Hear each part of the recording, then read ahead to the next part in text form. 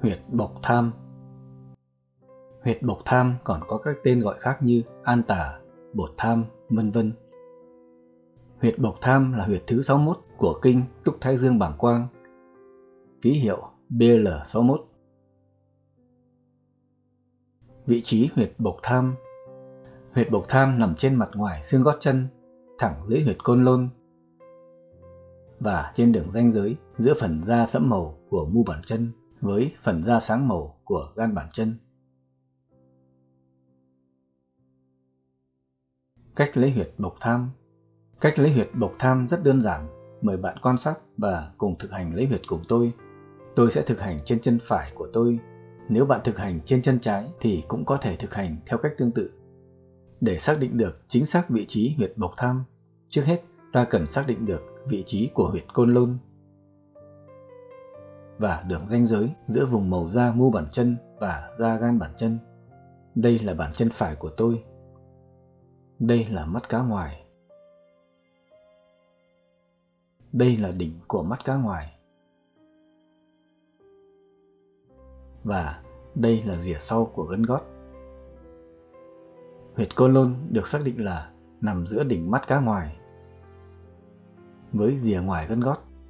Bạn có thể xem lại chi tiết hơn cách xác định vị trí và lấy huyệt côn lôn trong video BL60.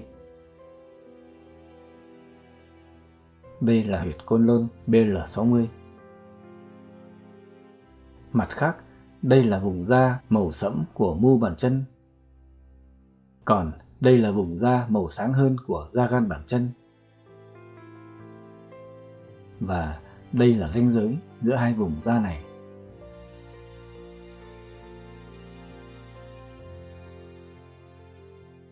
Như vậy, từ vị trí của huyệt côn lôn ta vừa xác định được ở đây, ta chiếu thẳng xuống dưới như thế này.